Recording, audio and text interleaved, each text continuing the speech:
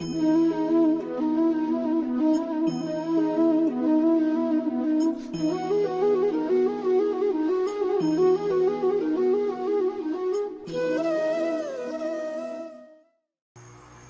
mind is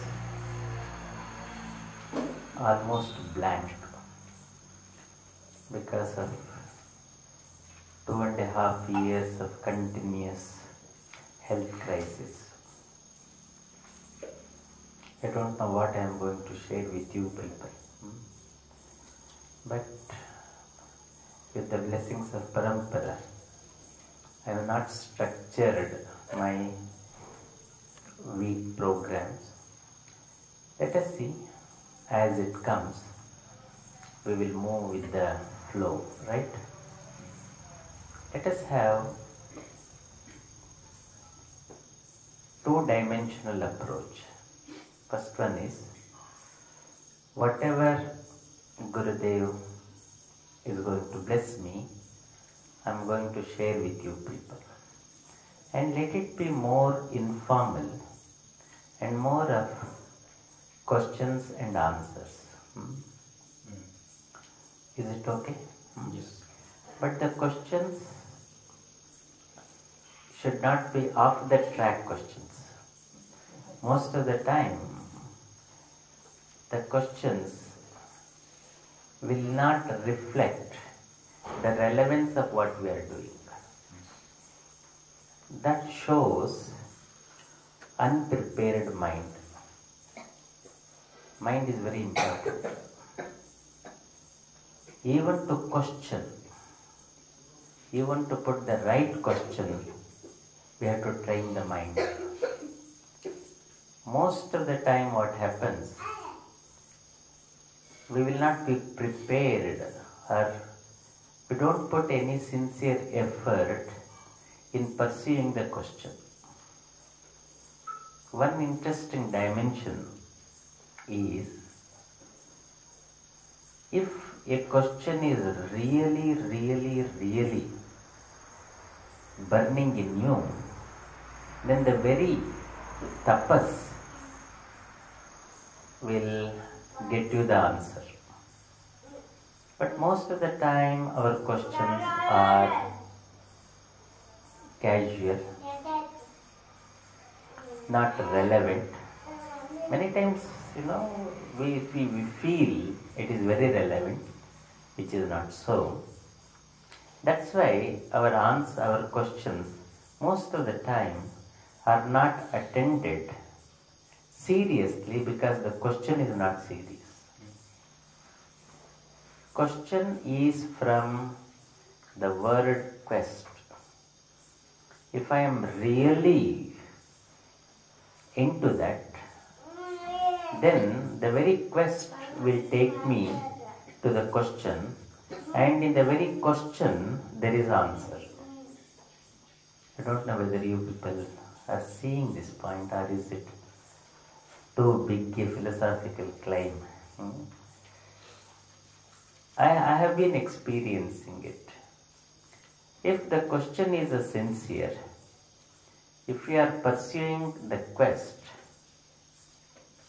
the answer will come from the nature in a very, very surprising, unconventional, and with small things you get the answer. Small things you get the answer. So, what I feel strongly is this is what I have been experiencing. You have to develop a mind which the stays with the question for some time.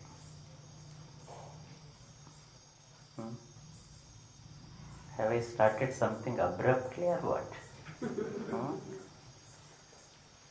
Is it too difficult to feel it? Hmm? Either you say yes or no. Hmm? Because of day to day activities, day to day compelling uh, obligations and compulsions, the question will not shine in the psyche. Question has to shine in the psyche. And the entire personality should resonate with the question. Don't try to seek an answer to the question, but is it possible for us to stay with the question? Hmm. To stay with the question, we need enormous energy. Staying with anything, you need enormous energy.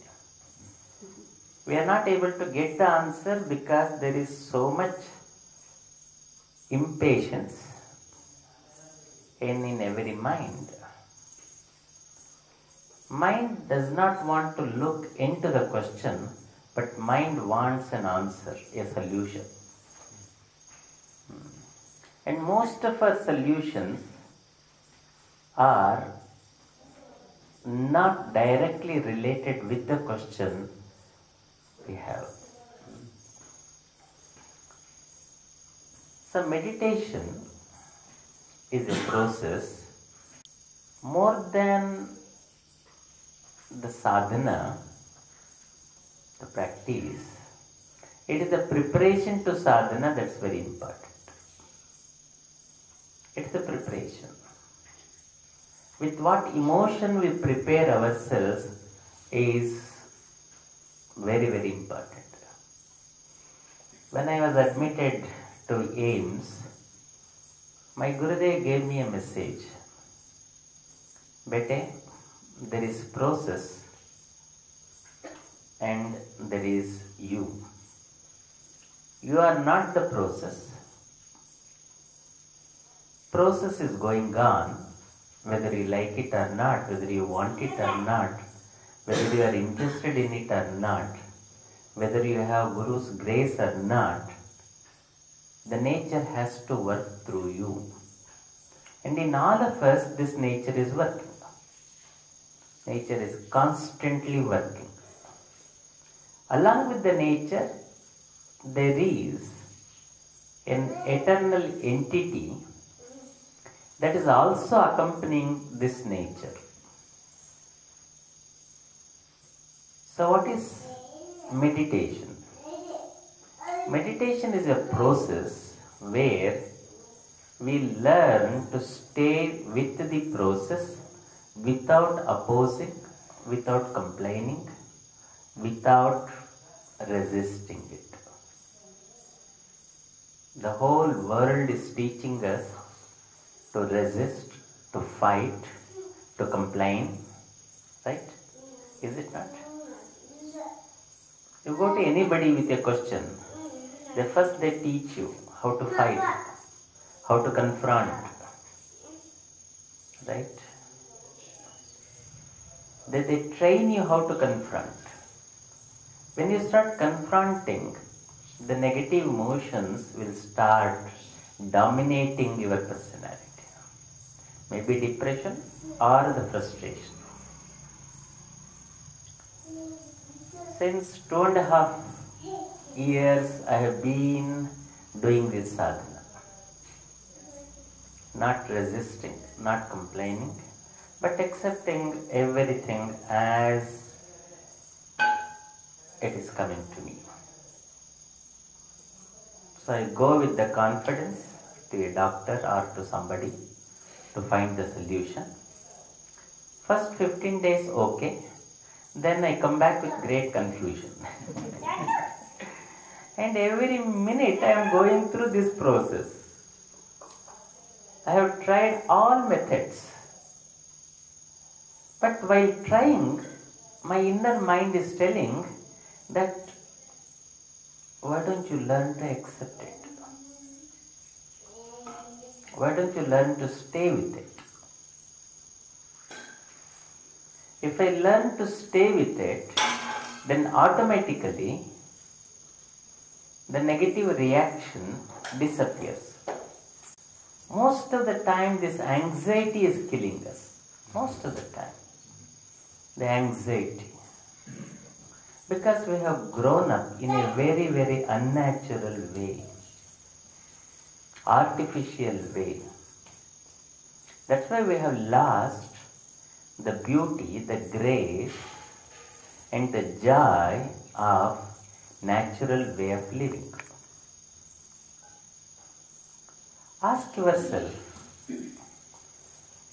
how the mind is constantly fighting, resisting, competing,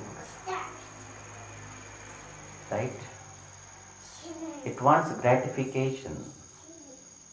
It wants a sort of fulfillment. It wants to prove.